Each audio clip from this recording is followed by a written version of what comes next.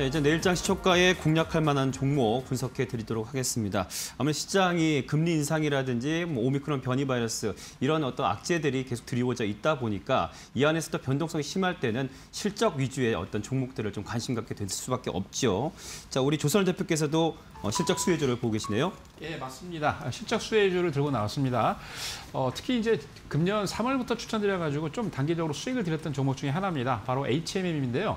여러분들 12월 달 되면 많은 분들이 걱정을 하십니다. 특히 이제 자산을 많이 갖고 있던 분들은 자산 관련주에서 10억 이상 중소형주에 투자를 하면은 세금이 너무 많이 나오기 때문에 중소형주를 좀 꺼려하는 편이죠. 그래서 보통 12월 달 같은 경우는 이런 어, 수익을 많이 내고 있는 종목들이 여러분들이 관심을 좀 가지셔야 되는데 특히 HME 같은 경우는 실적과 실적을 겸비해서 굉장히 내년 한 2, 3년 이상 실적이 좋아질 그런 종목 중에 하나입니다.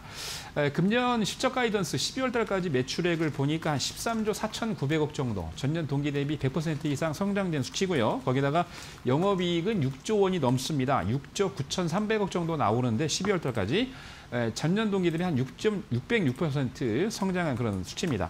특히 해상운임 같은 경우는 특성상 초기에 배를 살 때가 이제 비용이 많이 들이지만 그 이후에 고정 비용으로 들어가는 비용들이 적기 때문에 ROE 같은 경우에 굉장히 return on equity가 굉장히 높은데요.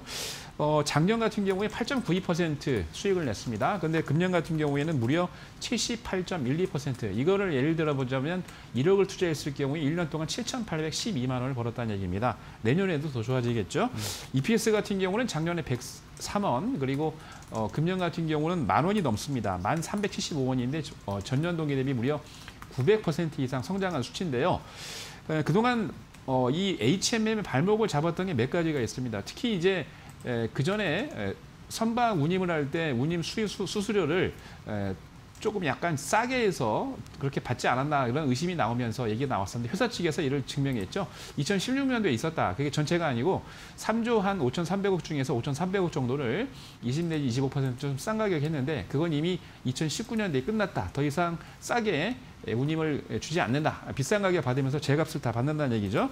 예, 거기다가 2019년도부터 물류 대란이 나오기 시작하면서 그때부터 적극적으로 대처를 했는데 특히나 2020년도, 19년도, 20년도에 물량을 임시적으로 50대 이상 늘리면서 배를 예, 그러면서 적극적으로 긴급 투입을 하면서 지원을 했고요. 거기다가 음, 신규 컨테이너선 같은 경우에도 매수를 많이 했습니다. 그래서 현재 자체 회사에서 갖고 있는 어, 선박 비중이 70% 이상을 넘죠. 어, 선봉량도 100TU, 100만 TU급이 넘어가면서 실질적으로 뭐 전 세계에서 내놓으라 하는 그런 어, 선사로 자리 배급을 했는데 어, 이로 인해서 2019년까지 적자 때문에 신용 등급이 굉장히 안 좋았는데 앞으로 신용 등급이 많이 올라가고 있습니다. 신용 등급이 올라가면 금융권에서 받는 돈이 굉장히 에, 저렴하게 이자를 받을 수 있고 그리고 부채 비용도 많이 줄어들겠죠. 그래서 굉장히 좋아 보이고요.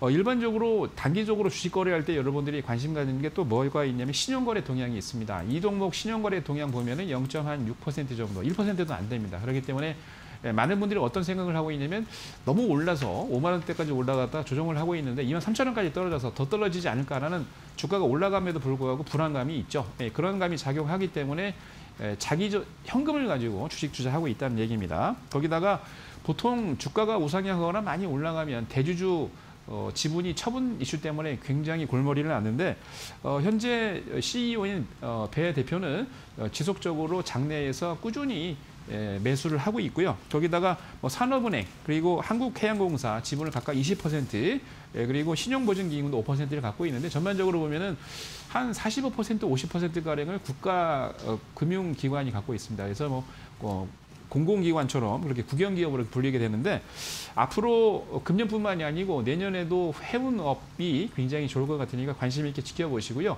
한 금년 한 11일 정도 남았습니다. 거래일 동안 어, 굉장히 강하게 올라가는 종목이 내년도 1월부터 또 선점을 해서 올라가기 때문에 HMM 관심을 가져주시고요.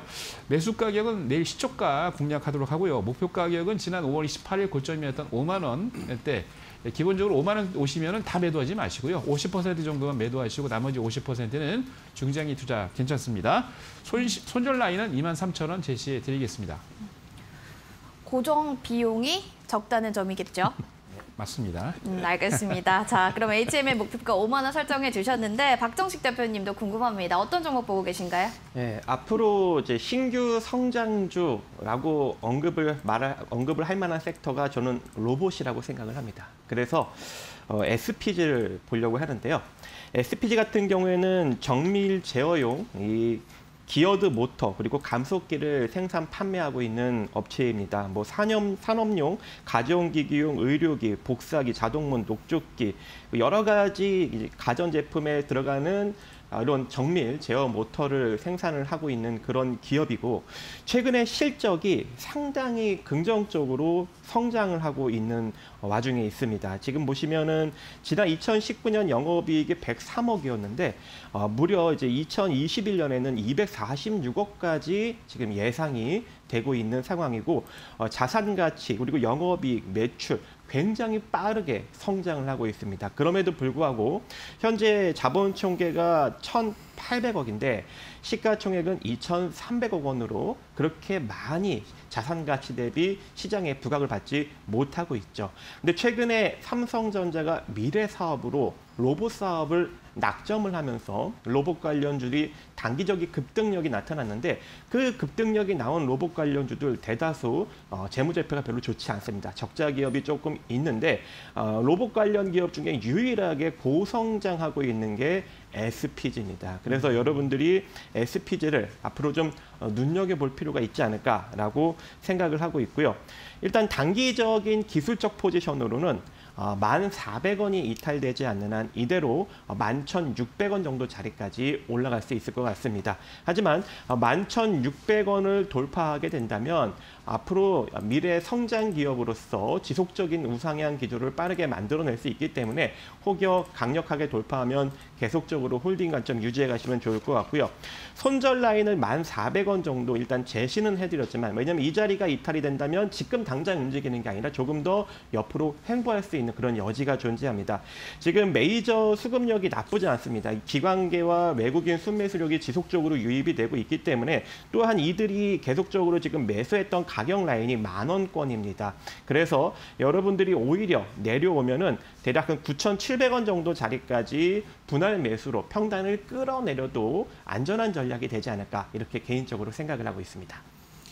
자, 두 분 전문가 의견 참고하셔서 내일장 시초가 공략 잘 해보시기 바랍니다. 자, 두 분 전문가 그리고 유전 캐스터 수고하셨어요.